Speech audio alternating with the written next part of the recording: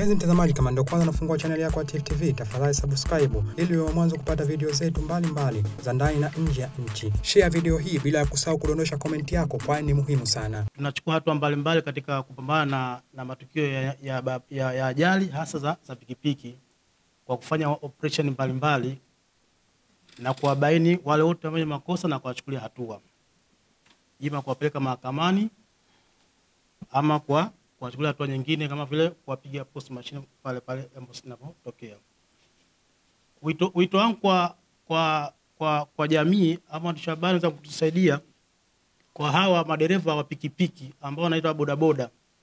Wengi watumiaji wa, wa, wa pikipiki au bodaboda si wale ambao kwamba ni madereva ambao wenye sifa za udereva, kwamba sasa hivi kwamba mtu ana pikipiki pengine tajiri ana pikipiki kama kumi au pengine tano, yeye lengo anaangalia kwamba ile upatikanaji wa pesa. Kwa hiyo anatafuta madereva ambao hawana sifa na kuwapa zile pikipiki na kuendesha.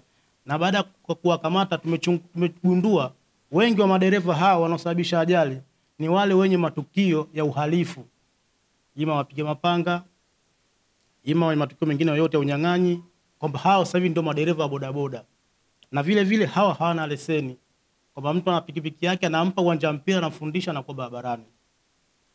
Vile vile kuna jambo jingine ambalo limetokea lipo sasa hivi ambao tunaomba Mungu lisije likatokezea kwamba sasa hivi mapikipiki tumewafanya kwamba ni basi skuli. Unakuta kwamba pikipiki moja inapakia watoto kama kumi au pengine sita au wanne. Wale watoto wanaangizia ngazi ya nyumbani ya familia, kwamba mzee anajua kwamba huyu nampa bodaboda. Je, una, una uhakika kwamba yule dereva ni, ni, ni qualified? Vile vile sheria sheria namba saba ya usalama barabarani kwamba inamtaka mtoto yote anayepakiwa chini ya umri wa miaka saba atakiwa apakiwe na mzazi wake, lakini mzazi anamwachia dereva bodaboda watoto wanne watano. Ukipita katika mashule binafsi ya, ya, ya, ya serikali utawakuta hali kama hiyo.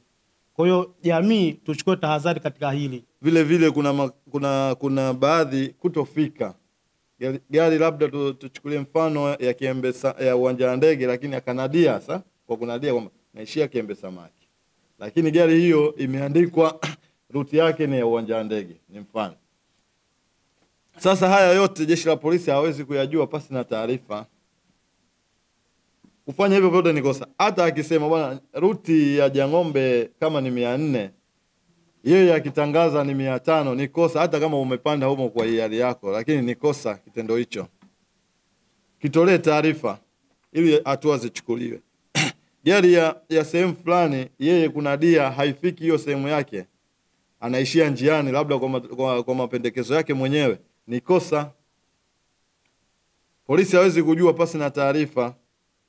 Kwa hiyo sasa tuwatake jamii sasa kutoa taarifa, kuongeza ushirikiano juu ya makosa mbalimbali kama hayo uliosema, ndugu mtangazaji. Leseni, dereva anafanyia anafanyia mazoezi kwako ha?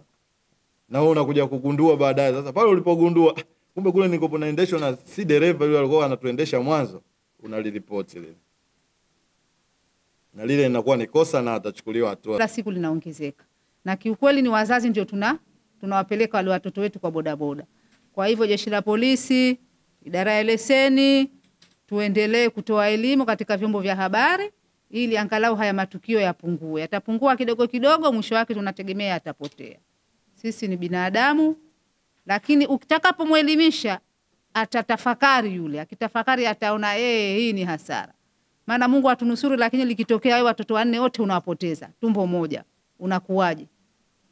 Kwa hivyo hiyo ni athari kubwa, lakini kwa haraka haraka hatuioni sisi. Tunaangalia ile faida tu ya chapuchapu, anawabeba anawarudisha, we unaendelea na kibarua chako. Jioni ukirudi watoto unakuta kwa sababu wanaona nenda mazikoni, wanachelewa, wanakuwa wanajaa mle kwenye gari. Hatua tunayoifanya sisi, tunawaelimisha, tunatoa elimu, tunafahamisha na wanafahamu. Unakuta saa nyingine kwenye gari unadai first aid, wanacheka mle kwenye gari. Mpaka hicho. Lakini sasa na sisi tunajitahidi, tunalimisha. Itabidi tutoe kimoja kimoja mle kwenye first aid, kuwapa elimu. Kwamba hii na madhara hivi hivi, kama gloves inasaidia hivi hivi hivi hivi, vyote tunavitoa mule. Vile vile tunapita mashuleni, tunafuatana na polisi jamii. Jamii, tunaenda kule, tunakuwepo si askari trafiki, wanakuwepo watu wa dawati. Kwa hiyo elimu pia tunakuwa tunatoa kule, inafika elimu pia. Vile vile sasa hivi kuna mafunzo ambao kuna askari wapya hawa vikosi, mara nyingi wanakuwa wanatoka, wakisha kutoka wale wanakuwa hawana leseni. Saa nyingine mtu unamkuta anaendesha chombo alafu anakuambia mimi ni askari. Kwa hiyo pia tunachukua nafasi, tunaenda kule, tunatoa elimu. Kikubwa hapa tunachotakiwa ni ushirikiano kati ya jamii na sisi askari polisi. Sisi tunawasha moto, kuni ziko wapi? Akashuka akaandikwa tu kwenye kikaratasi, ukesha gari ikaruhusiwa. Kwa hiyo wao wanaona pale pale na kwa labda ndo mmemalizana. Swala linalo linakuwa so kweli, kwa sababu mle kwenye gari mnakuwa mna watu, pengine mtu anafukuzia na safari zake. Huwezi kumweka kila mtu ukamwambia subiri kwanza mashine ifanye kazi. Mashine nayo ni mtandao, saa nyingine haufanyi kazi, intaneti inasumbua. Unamwandika pembeni, kapeleke abiria wako, ukesha uje kituoni. Kwa hiyo anapokuja kituoni unamwadhibu kwa kosa lake. Kama wa risiti, unamtolea risiti, analipa. Kama wakumpeleka mahakamani, unampeleka mahakamani, kwa sababu si kila kosa linatozwa tozo kwenye risiti. Kuna baadhi ya makosa hayawezi kutoa hayawezi kutoa tozo lake kwenye risiti, kwa sababu risiti asilimia ya mwisho ya pesa kutoa ni elfu arobaini na tatu. Sasa kuna makosa mengine thamani yake zaidi ya elfu arobaini na tatu. Huwezi kumtolea mtu pale pale tu risiti elfu arobaini na tatu kaendesha gari hana road license, umtolee risiti. Lazima yule unamwandika, baadaye ndo anakuja kituoni, unamtolea um, siku ya pili asubuhi, gari unapeleka mahakamani tu, kwa taratibu nyingine zinaendelea. bila mashirikiano na jamii na askari kwa kitu kimoja, kwa kweli makosa hatopungua na itakuwa historia tu na hadithi za kila siku. Na siku zote tunasema kwamba lengo letu si kukutana hapa kujadili makosa na kama historia tu au story tu.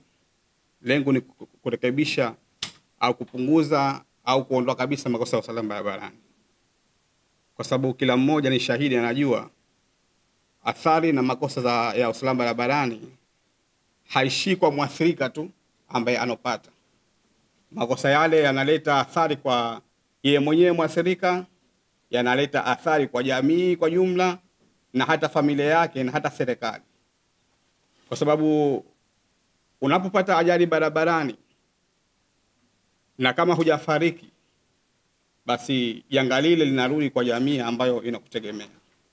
Aidha kama baba kama mama, basi una watu nyuma ambao wanakutegemea. Lakini na vile vile serikali inapoteza nguvu kazi za wewe mwenyewe mwathirika.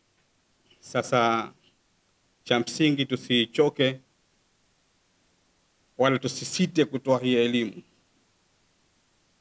Mwandishi wa habari achukue jukumu lake la kuelimisha jamii, na sisi polisi tutazidi zaidi kuzidisha mashirikiano na kutoa zaidi elimu kwa jamii kwa lengo la kuondoa na kutokomeza madhara ya ajali barabarani. inakupatia video mbalimbali kutoka ndani na nje ya nchi. Tafadhali endelea kutufuatilia kupitia chaneli yetu ya Tifu TV, YouTube, Facebook, Twitter na Instagram, bila kusahau kudondosha komenti yako, kwani ni muhimu sana. Tifu TV tupo kijamii zaidi.